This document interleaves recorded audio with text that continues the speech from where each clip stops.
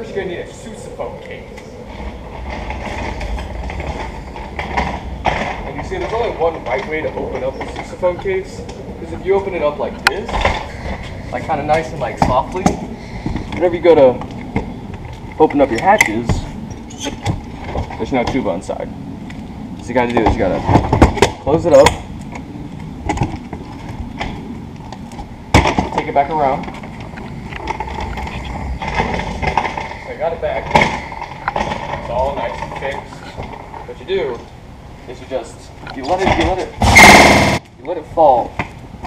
You open it up, and what do you know? What do you think you're gonna find? You're gonna find a nice, pretty sousaphone right there. So now you have to take the sousaphone out of the case.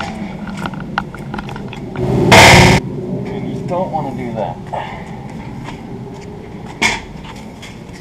Set it down nice, gently.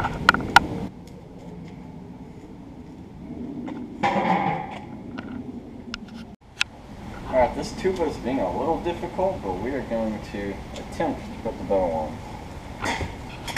So you get this, and you're just gonna like straddle it, just like so.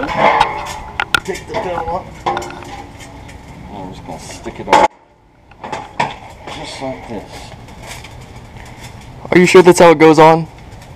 So if you put the bell on backwards, then you have to get a friend to help you take it off. Oh my god. Okay. So we're gonna stick it on the right way.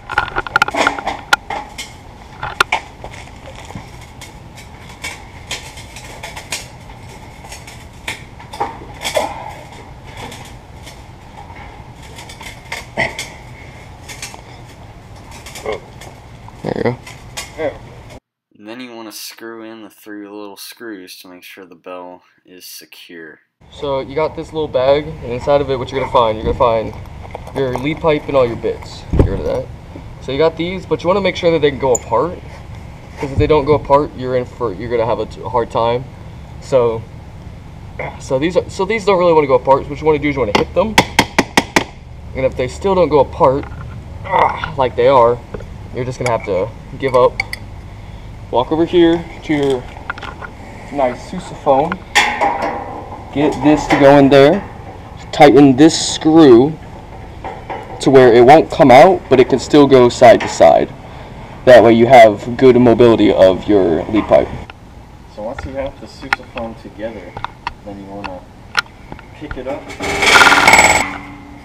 Make sure the mouthpiece does not fall. What you're going to want to do is put it back on just like this. Tighten it and then make it a little more secure. Just like that.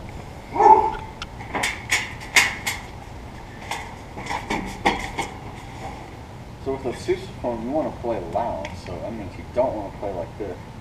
You want to play like this.